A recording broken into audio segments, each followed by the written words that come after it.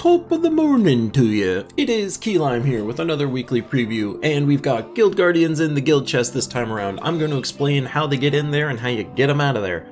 And then I'm going to talk through Guild Wars, and then I'm going to talk through the bounty event this weekend, and all the stuff in between. Let's dive into the weekly preview. This week is a Guild Wars week, which means you need to be spending all day today getting your defenses set up. Here are mine. Feel free to take them if you so choose. In the Sentinels, get them all leveled up. They help your guild. Do it. Be a good person. And then here's the schedule, so get on ready for these. I actually have Guild Wars videos for the first three colors of the week, which is super fortunate. So if you feel like learning how to use attack teams properly, I've got videos for the first three days so far, Hopefully I'll get the rest of the videos later on in the week. But beyond all of that, in the event keys this time around, it is the Maugrim Woods. Maugrim Woods, it is the kingdom of tree people, lots of, you know, sneaky shadow tree people. I've passed the Maugrim Woods in the sort thing, but that's fine, I'm gonna keep talking. In here, we've got Wulfgarok, who is not that all amazing. He looks really cool, but even though he was buffed, he's still not very cool. Would not recommend opening up event keys for him. However, Forest Guardian is super nice double converter, and he is also a divine beast type. He also gives all beasts 50% mana, and he gives all beasts a barrier whenever you cast him. He's pretty darn cool. Kerberos is also kind of fun if you don't have something like a High King Irongut where you can have a reliable Devourer. This guy has a 40% chance to Devour, so he's not so awful. And then the new troop this time around is Krampus. So if you're opening up event keys, that is going to be where you find this lump of coal in your stocking. Krampus is in here. His spell ability is total garbage, which is doing damage to an enemy and then maybe submerging them, weird, or devouring them, okay, or transforming them into a daemon specifically, alright, or knocking them back to the uh, lineup there. This is all super weird. So I'm not a big fan of Krampus. This is kind of awkward. I'm pretty sure this is an and, so maybe it does the submerged devour transform and then it knocks them back regardless. Regardless, though, this troop is not useful. He does look ridiculous. His uh, traits here are nothing all that interesting either. It is literally Lump of Coal is the trait name, dealing 5 damage to a random enemy with 5 matches or 4 matches of reds, or just reds in general. This is fine. Nothing all that exciting. But beyond all of that, there's really nothing else too exciting. We got Moonsinger, Moonsinger Empowered Converter. I'm not in love with Moonsinger, but he exists. So that is all what's going on in the event keys this time around. Beyond all of that, in the Glory Shop, we got ourselves this Wargear Brute. Wargear Brute is basically early game or early game tanking god. Like this guy in the early game would be really, really nice. He has skull protection, he has spell protection, he's gaining life in the top slot, and he's cleansing everybody else. So in terms of like an early game tanky kind of troop, this is pretty decent. I wouldn't say he's the best troop on the planet, but his boost ratio is times 5, so having someone that can stay up in the top slot and survive for a long time, he's even immune to entangle, so like he is pretty ideal from a first line perspective, but overall I wouldn't really say, eh. Early game players feel free, end game players feel free to ignore. But that's what's in the Glory Shop this time around.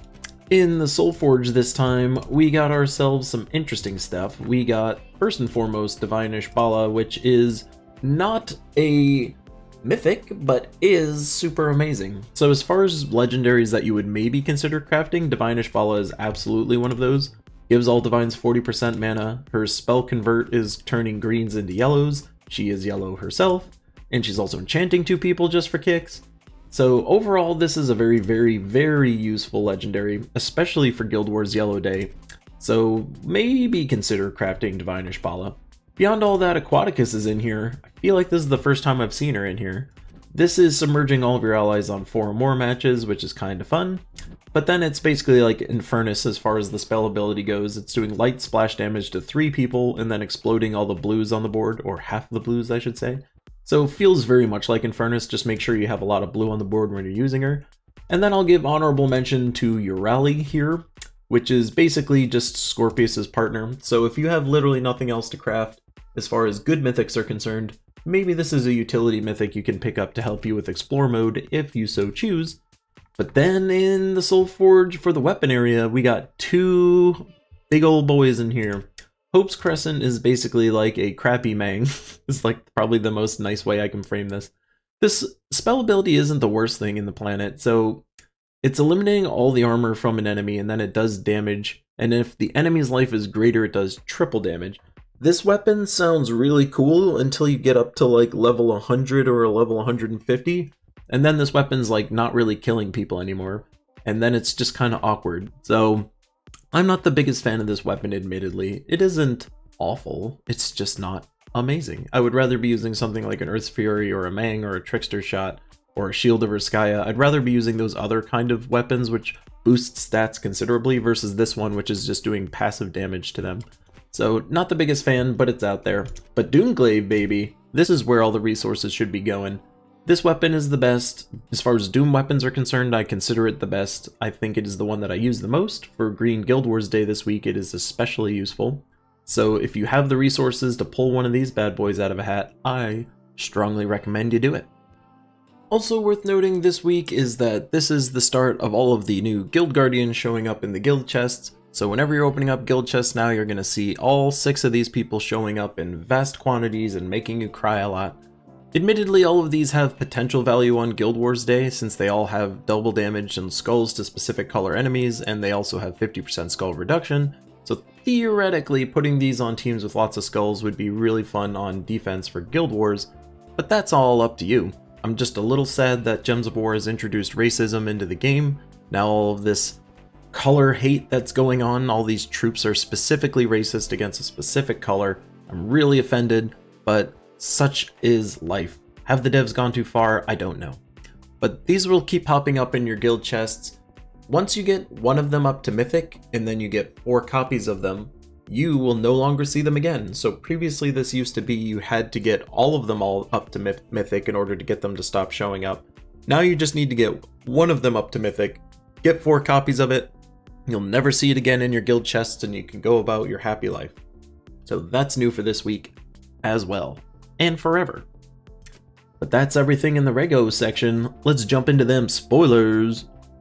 Jumping into the spoilers section, we've got ourselves a faction assault on Tuesday.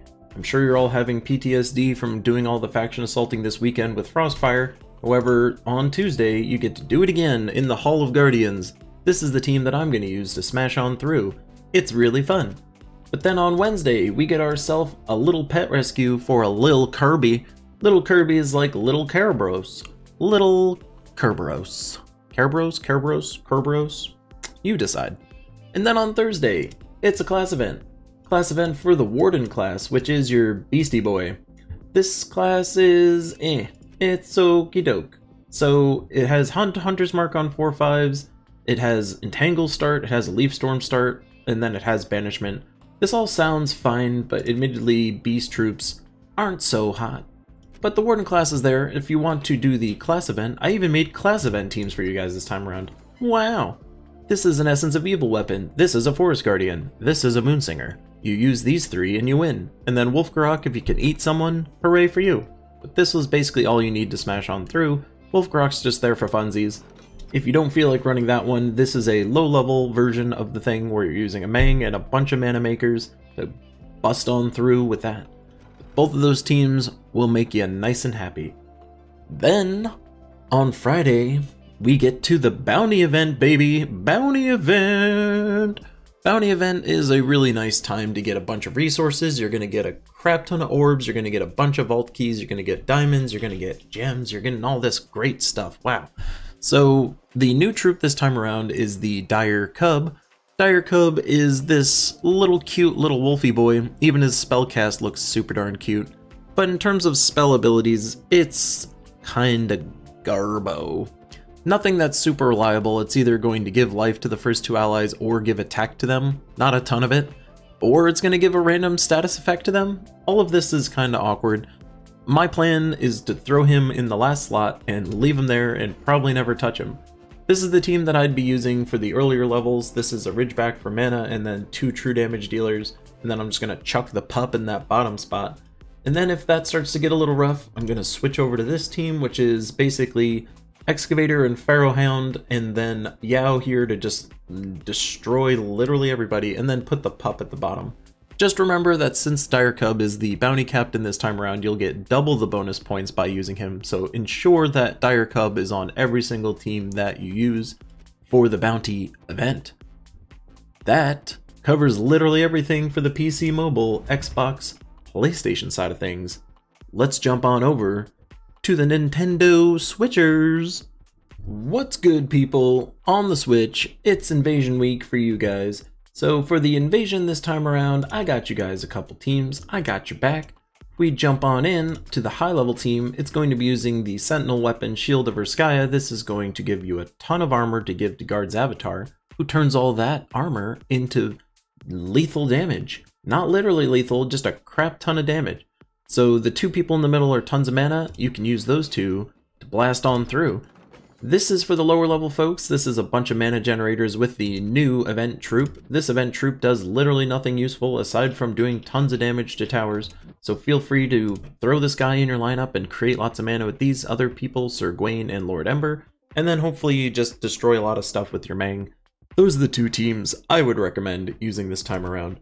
Also in the event shop this time around is a new weapon. It's the Cane Sword. It's unfortunately restricted to knight types, what you will learn, if you have not already, is that knight troops are currently not that synergistic with each other or that good in a group. Individually they can be fine, but there is not a pure knight lineup that's usually all that exciting.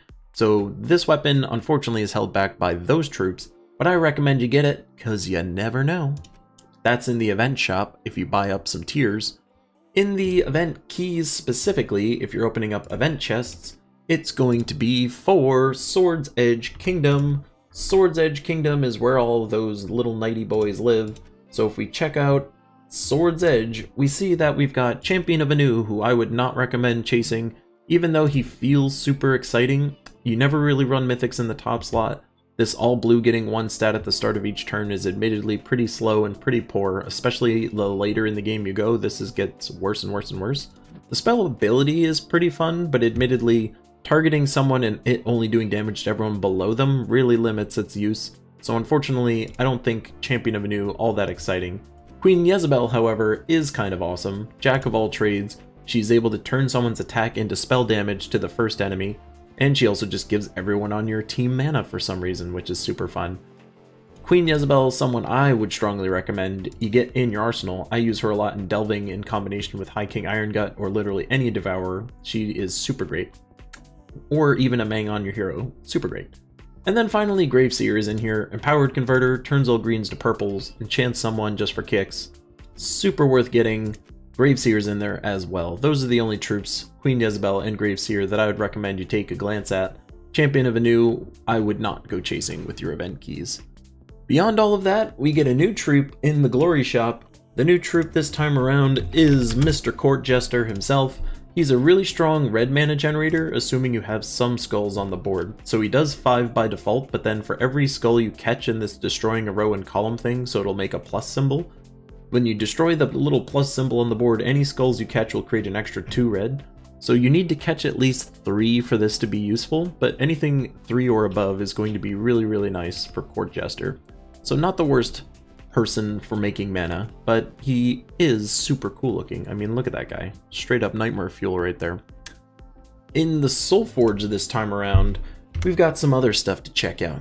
So, Divine Ishbala is in there, and she is one of the few legendaries that I would say is potentially worth crafting. She is a really strong double converter, so she's turning reds into skulls and then greens into yellows. She is yellow herself, she enchants two people just for kicks, she gives all divines 40% mana, and she just looks super darn cool. So this troop, really, really nice. Really consider crafting her if you do not have her. She is used a lot. Beyond all of that, there's Wild Queen in there, which is super fun and dangerous to use. She's stealing a bunch of attack and giving it to the first troop in your lineup, and then making a crap ton of skulls and green mana to just take all that attack you just gained and use it to destroy your enemies. Really, really fun troop to use. This thing with the wild folk gaining 2 attack at the start of every turn is kinda useless, I ignore this part. This part you need to be aware of, however. The second trait is going to create a Bone Storm when an ally dies, so when someone on your team dies, you've either got a really awesome situation or a really terrible situation, so be prepared for this if anyone on your team dies. It's gonna get to crazy land real darn quick. And in the weapons section, there's a weapon called the Edged Blade. Edged Blade is basically the same kind of deal as the Cane Sword. This is going to be creating a mix based on Sword's Edge allies, which is basically a lot of the knights that we were looking at before. Uh, unfortunately, this makes it not that useful since the knight type troops are not that good. There is no Sword's Edge team that you can make that's really all that exciting, but it is out there. I would recommend you get it if you can afford it, but I would admittedly not break the bank if this is not something that you can readily afford and afford to grab another weapon next week. Would not go out of your way to craft this, but it is out there. It's fine. Also worth noting this week is that this is the start of all of the new Guild Guardians showing up in the guild chests. So whenever you're opening up guild chests now, you're going to see all six of these people showing up in vast quantities and making you cry a lot. Admittedly, all of these have potential value on Guild Wars Day, since they all have double damage and skulls to specific color enemies, and they also have 50% skull reduction, so theoretically, putting these on teams with lots of skulls would be really fun on defense for Guild Wars, but that's all up to you. I'm just a little sad that Gems of War has introduced racism into the game. Now all of this color hate that's going on, all these troops are specifically racist against a specific color. I'm really offended, but such is life. Have the devs gone too far? I don't know. But these will keep popping up in your guild chests. Once you get one of them up to Mythic, and then you get four copies of them, you will no longer see them again. So previously this used to be you had to get all of them all up to Mythic in order to get them to stop showing up. Now you just need to get one of them up to Mythic, get four copies of it, you'll never see it again in your guild chests and you can go about your happy life. So that's new for this week as well, and forever. Let's jump on into them spoilers. For the Tuesday Faction Assault event, you guys are going to have yourselves an all-seeing eye faction assault. This was the first one I completed, it is super fun and easy. This is the team that I like to use to smash on through, but more importantly is to make sure that when the faction assault event is going on, you go into the shop section and you get yourself a jar of eyes. This weapon is Mountain Crusher only for blue, so please make sure you grab this weapon. It is incredibly useful and versatile. Super, super required to go get. On Wednesday, there's going to be a pet rescue for a pet called Scrappy. Wow, super cute. On Thursday, we get to play around with that class that I mentioned is not so hot. It is the Knight class. So the Knight class is really not that amazing as a class. I wouldn't recommend trying to like use this opportunity to get a crap ton of levels into the Knight class unless you just literally have billions of gems you don't feel like holding on to anymore. But for the event itself, I did make you guys some teams because I'm always thinking of you. This is the team that I would use for the higher level folks that happen to have a little more bells and whistles. Admittedly, this just requires Queen Jezebel as far as like new and exciting stuff. So if you have a Queen Jezebel, you can use this team to smash on through. If you don't, you can use this team, which is kind of a similar thing, only it's just tons of mana generation, even summons, and then just Mang to just like super hit people as you run on through. Both of those teams should be able to clear the entire event if that's your bag. But then, on Friday, it's bounty time. For the bounty event, we get to deal with a new troop called Man at Arms. He's just like a regular old cavalry dude. Or chivalry? No? Oh, cavalry? Yeah, I think cavalry is the right word. We're gonna say cavalry, although I feel like that's on horses. Regardless, he's got a lance. Or some other weapon. Or halberd? Christ. Alright, what he does. it's giving 11 attack and armor to an ally and then giving them barrier. This is not that strong of an ability, so I would recommend just throwing him at the bottom of your troop lineup. Since he's going to be the bounty captain, you will get twice the bounty point bonus by having him in your team, so if you are able to get him up to Mythic, he won't be giving you 6x, he'll be giving you 12x. Please make sure you put this person in all of your teams as you run on through. The bounty event, this weekend. But that covers everything for you guys. Let's take it to the outro. And there you have it, folks. Guild Wars week, week, week, week. For PC, mobile, Xbox, PlayStation folks, we've got just a regular invasion for the Switch folks, bounty events for all, and Guild Guardians in the chests. It's going to be a really fun week, lots of new and exciting stuff. Don't forget that you get 2,000 guild seals by default now, or up to, so farm your faces off as you run on through. I'll be streaming all my Guild Wars fights. The schedule that I have is posted on the left there. However, I will be streaming on all of the days, just the days that aren't my regularly scheduled days, I'll be streaming like first thing in the morning. So if you feel like watching me go through my Guild Wars fights, that's how you do it. That's everything I got for you guys this week. I'm Keylime, you're you. I'll see you in the next one.